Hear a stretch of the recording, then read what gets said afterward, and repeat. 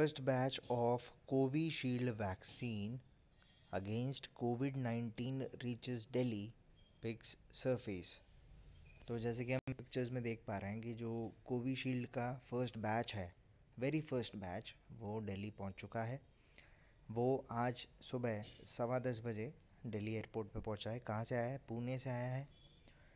ये इसकी confirm report किसने दी है? सीईओ विदय कुमार जयपुरियार ने। और इन्होंने बताया कि जो इनके टर्मिनल्स थे, उनमें टेम्परेचर रेंजेस कितनी थी? माइनस ट्वेंटी डिग्री से plus twenty five degree Celsius में, जिसमें इस वैक्सीन को इफ़ेक्टिवली लाया जा सका।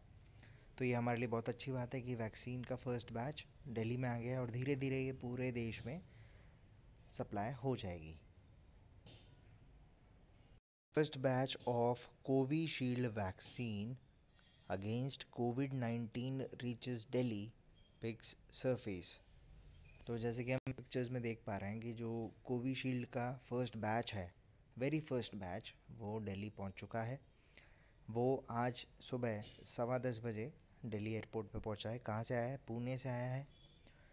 ये इसकी कंफर्म रिपोर्ट किसने दी है? सीईओ विदय कुमार जयपुरियार ने। और इन्होंने बताया कि जो इनके टर्मिनल्स थे, उनमें टेम्परेचर रेंजेस कितनी थी? माइनस ट्वेंटी डिग्री से plus twenty five degree Celsius में, जिसमें इस वैक्सीन को इफ़ेक्टिवली लाया जा सका।